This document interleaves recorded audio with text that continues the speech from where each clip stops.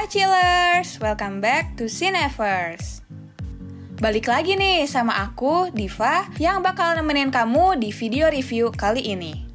Aku mau nanya dulu nih ke chillers. Chillers udah nggak asing kan ya kalau denger nama James Bond? Video kali ini bakal bahas tentang film terbaru dari James Bond yang judulnya No Time to Die. Simak terus ya! Suatu kebanggaan banget, film ini tuh akhirnya resmi dilayarkan di bioskop Chillers. Karena film ini sempat mengalami penundaan penayangan akibat pergantian sutradara dan kasus COVID yang meningkat.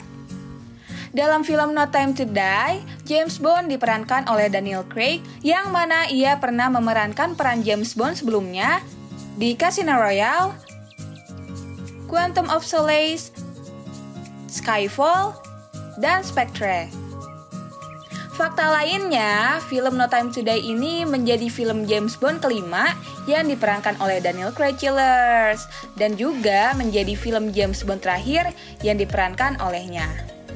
Langsung aja yuk ke reviewnya. Dimulai ketika James Bond yang sedang menikmati hidupnya yang tenang di Jamaika. Akan tetapi, rencana pensiun Bond terganggu karena teman lamanya Felix Leiter datang menemuinya. Felix menemui Bond karena ingin menginformasikan tentang Valdo Obrusev, seorang ilmuwan yang bekerja untuk MI6 yang menghilang. Valdo bertanggung jawab atas proyek rahasia yaitu senjata biologis baru yang dapat menjadi pemusnah massal yang disebut Heracles. James Bond pun memutuskan untuk kembali menjadi agen 007 sehingga ia harus berhadapan dengan Spectre dan lawan barunya yang misterius, Lucifer Safin. Di sisi lain, James Bond punya komitmen untuk hidup bersama Madeleine Swan, anak dari Tuan White, seorang pembunuh yang sangat diandalkan oleh organisasi kejahatan berskala global Spectre. Misi James Bond kali ini gak hanya untuk menyelamatkan dunia seperti biasanya, tapi James Bond juga harus memutuskan apakah ia bertekad untuk hidup bersama dengan Madeleine atau melepaskannya.